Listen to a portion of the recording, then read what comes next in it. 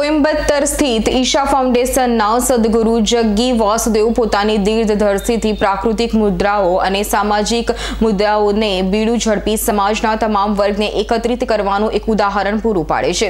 બે હજાર દસમાં સદગુરુ જગ્ગી વાસુદેવની રેલી ફોર રિવર્સ નામના ઝુંબેશમાં સોળ કરોડ લોકો જોડાયેલ હતા. આ ઝુંબેશ અંતર્ગત એક લાખ પચીસ હજાર ખેડૂતોને સાથે રાખીને બસો બેતાળીસ કરોડ વૃક્ષનું વૃક્ષારોપણ કરવાનું સંકલ્પ હાથ ધરેલ ગત બા એકવીસમી માર્ચ બે હજાર બાવીસથી સદગુરુ જગ્ગી વાસુદેવે સેવ શોય નામની ઝુંબેશ ઉપાડેલ. વિશ્વના ભૂવૈજ્ઞાનિકોએ તથા યુએન એજન્સી દ્વારા વિશ્વભરના દેશોમાં સંશોધન કરતા તે તારણ કાઢ્યું કે માટીની ફળદ્રુપતા દિવસે ને દિવસે ઘટી રહી છે. બે હજાર પિસ્તાળીસ સુધી વિશ્વભરમાં અન્નનું ઉત્પાદનના ચાળીસથી પચાસ ટકાનો ઘટાડો આવશે. ખાદ્ય પદાર્થની અછતના કારણે વિશ્વભરમાં આંતરિક યુદ્ધ સર્જાય તેવી પરિસ્થિતિ ઊભી થાય તેવું અનુમાન છે. વિશ્વને આવા કપરા સમયથી બચાવવા જગ્ગી વાસુદેવે સેવ સોઇલ અભિયાન હાથ ધરેલ છે. જેના અંતર્ગત સદગુરુ જગ્ગી વાસુદેવ વિશ્વના સત્યાવીસ દેશોમાં ત્રીસ કિલોમીટર બાઇક ચલાવી તેનો પ્રયાસ પ્રયાસ કરી રહ્યા છે. સદગુરુ જે રાષ્ટ્રનાયક સમાન છે, તેઓને વિદેશનો પ્રવાસ પૂરો કરી ભારતમાં પ્રવેશ માટે જામનગરની ભૂમિ પર નેક નામદાર જામ સાહેબે આમંત્રણ પાઠવેલ છે. તેમને હર્ષ સ્વીકારેલ નવાનગરના રાજવી નેક નામદાર શ્રી જામ સાહેબના પ્રકૃતિ પ્રેમ વિશે આપણે સૌ જાણીએ છીએ. સર પીટર સ્કોટ નેસર્ચ પાર્કમાં પશુ પક્ષીઓનો વર્ષોથી વસવાટ તથા તેમની માવજત જામ સાહેબની સંવેદનશીલતાનું પ્રતીક છે. બરડો જેવો ડુંગર જ્યારે જામ સાહેબનું આંગણું હોય ત્યારે બરડા ડુંગર પ્રત્યેનો પ્રેમ અને પ્રાકૃતિક જતન વિશે જામનગરની જનતા અચૂક જાણે છે. જામ સાહેબ અને સદગુરુની પ્રકૃતિ પ્રત્યેની સંવેદનશીલ જોડતી કડી જે નોંધપાત્ર છે.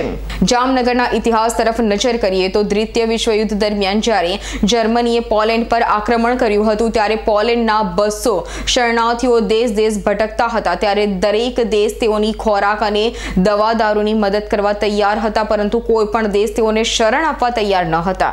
આ કપરી પરિસ્થિતિ જોઈ જામ સાહેબ શ્રી દીચી જયસિંહજીની પોલેન્ડના નાગરિકોની પીડા જોઈ ન શકાય ત્યારે તેઓ ઇમ્પિરિયલ વોલ કેબિનેટના સભ્ય પણ હતા. તેઓએ જામનગરના બંદરમાં પોલીસ નાગરિકોનું સ્વાગત કરી અને માત્ર શરણ જ નહીં, પણ તેઓના ભણતર અને વિકાસને પણ ખૂબ જ મહત્વ આપ્યું હતું. આવો સોનેરી ઇતિહાસ ધરાવતા જામ સાહેબના નામની શપથ આજે પણ પોલેન્ડના સાંસદમાં લેવાય છે. જામનગર બંદર એ એક કાર્ગો પોર્ટ છે. પરંતુ દ્વિતીય વિશ્વયુદ્ધ દરમિયાન પોલીસ બાળકોને આવકારવા એ પહેલા સિવિલિયન કિસ્સો હતો. તે નેક નામદાર શ્રી જામ સાહેબ દિગ્વિજયસિંહના આમંત્રણથી શક્ય બન્યું હતું. આજે સદગુરુને પાઠવેલ આમંત્રણથી ઇતિહાસનું ફરી પુનરાવર્તન થશે કે રાજવી પરિવાર દ્વારા ફરી એક વખત જામનગર બંદર પર સ્પેશિયલ પરમિશનથી જામ સાહેબના મહેમાન સદગુરુનું આગમન થશે. આ કાર્યક્રમનું નેતૃત્વ જામ સાહેબના પ્રતિનિધિ એકતાબા સોઢા કરશે. એકતાબા સોઢા પોતે જામ સાહેબની જેમ પ્રકૃતિ પ્રત્યે ખૂબ જ સંવેદનશીલ છે. શેવ સોઇલ કેમ્પેન અંતર્ગત તેઓએ જામનગરમાં પાંચ હજાર વૃક્ષો આરોપણ કરવાનું સંકલ્પ લીધેલ છે. એકતાબા સોઢાની આગેવાની હેઠળ કાર્યક્રમને સફળ બનાવવાની યુદ્ધના ધોરણે તૈયારી ચાલી રહી છે. સદગુરુ જગ્ગી વાસુદેવ, આજે લંડનથી લગભગ સત્યાવીસ દેશોમાં સેવ સોઇલ કાર્યક્રમ અંતર્ગત એમની મુહિમ જે ચાલી રહી છે ત્રીસ હજાર કિલોમીટર સર કરી અને ભારતના આંગણે ઓગણત્રીસ મે બે હજાર બાવીસના રોજ પધારશે. ત્યારે જામનગરના રાજવી પરિવારના જામ સાહેબ શ્રી એચ એચ જામ સાહેબે એમને આમંત્રણ પાઠવેલું છે અને એ આપણા મહેમાન બનીને અહીં આવશે.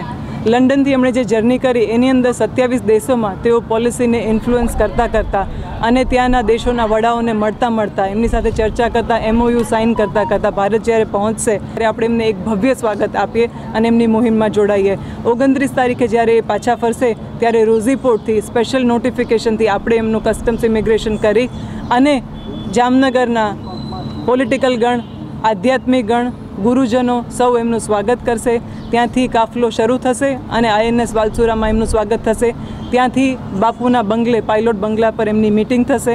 મિટિંગ પૂરી કરી અને પ્રતાપ વિલાસ પેલેસ પર જ્યાં તેમનો નાઇટ સ્ટે છે ત્યાં પધારશે. સાડા ચારની આસપાસ તેમની મીડિયા પ્રેસ કોન્ફરન્સ થશે. કાર્યક્રમની રૂપરેખા એવી છે કે પાંચ વાગે લગભગ ડીકેવી સર્કલથી એ લોકો શરૂ કરશે પોતાની યાત્રા અને વાલીઓને, વિદ્યાર્થીઓને, જામનગરની જનતાને બધાને મળશે અને ધીરે ધીરે ધીરે વિરલબાગ સુધી એ કાર્યક્રમ આગળ પહોંચશે. વિરલબાગ પહોંચી અને પેલેસ રોડ ઉપર, છેક પેલેસ રોડથી શરૂ કરી અને સત્યસાઈ સુધી સાંસ્કૃતિક કાર્યક્રમમાં બધા નેશનલ એવોર્ડ વિનર, પરંતુ આપણા નેટિવ બધા ડાન્સર્સ એમના તરફથી કલાકૃતિઓ રજૂ કરવામાં આવશે. એ કલાકૃતિ વિશે માહિતી મેળવતા મેળવતા એ લોકો સત્યસાઈમાંથી ફરી બધાને દર્શન આપી, એમનોને મળી અને પેલેસમાં પોતાની ફોર્મલ એન્ટ્રી લેશે. ત્યાં એમની આરતી, તેમનું ભવ્ય સ્વાગત એ બધું ગોઠવવામાં આવ્યું છે.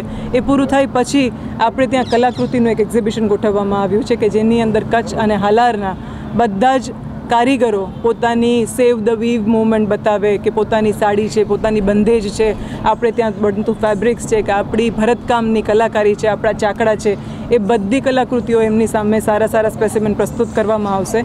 એ પૂરું કરી અને એમને સ્ટેજ પર લઈ જવામાં આવશે. ત્યાં લગભગ પિસ્તાલીસથી પચાસ મિનિટનો એક કાર્યક્રમ છે, જેની અંદર સેફ સોઇલની ચર્ચા કરવામાં આવશે કે સત્યાવીસ દેશોમાં એમણે શું ચર્ચાઓ કરી અને આજે એમનું મુહિમ છે એ આપણને કઈ રીતે ફાયદાકારક નીવડી શકે એના વિશે ચર્ચાઓ થશે અને લગભગ સવા સાત, સાડા સાતની આસપાસ કાર્યક્રમને પૂરો કરવામાં આવશે. જામ સાહેબ અને સદગુરુ વચ્ચે જે મીટિંગ છે, એમાં ત્રણ ચાર અલગ અલગ એજન્ડાસ છે. પ્રકૃતિને રિલેટેડ છે, અધ્યાત્મને રિલેટેડ છે જામનગરની જનતાને ફાયદો કઈ રીતે મળી શકે આ બધામાંથી એને રિલેટેડ પણ છે. તો ત્રણ ચાર પ્રોજેક્ટ્સ છે અમારા મનમાં, જેના વિશે ચર્ચા સદગુરુ સાથે થશે કે ઈશા ફાઉન્ડેશન અને રાજવી પરિવાર કઈ રીતે એકબીજા સાથે કામ કરી શકે. હર્ષલ ખંધેડિયાનો રિપોર્ટ જામનગર.